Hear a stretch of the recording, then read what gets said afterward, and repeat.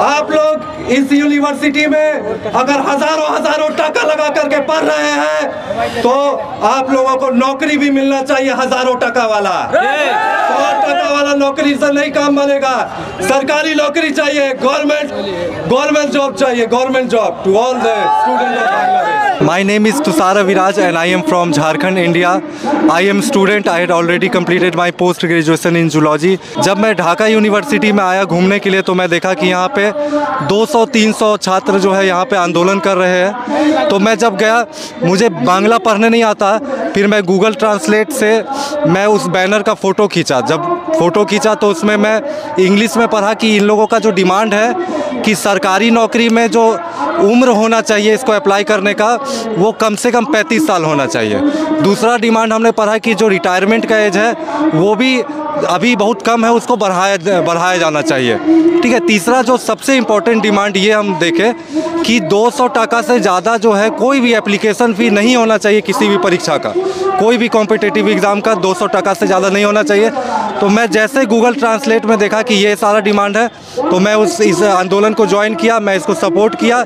इसीलिए मैं मूली भी टांगा हूँ क्योंकि ये मूली जो है, ये विरोध का प्रतीक होता है। हम लोगों के इंडिया में काला रंग का पट्टा बांधते हैं लोग। अगर विरोध करते हैं तो। वैसे यहाँ पे मूली टांग करके विरोध हम लोग कर रहे हैं। हम लोग विरोध भी कर रहे हैं और हम लोग मांग भी कर रहे हैं बांग्लादेश सरकार से कि ये जो 200 टाका जो मिनिमम है, ये सारा छात्रों के लिए होना चाहिए चाहे कोई भी कॉम्पिटेटिव एग्ज़ाम हो। और जो एज लिमिट है अरे, पढ़ाई एम पी करते करते किसी भी स्टूडेंट का 26 साल हो जाता है। तीन चार साल में ज़रूरी नहीं है कि नौकरी कर ही लेगा।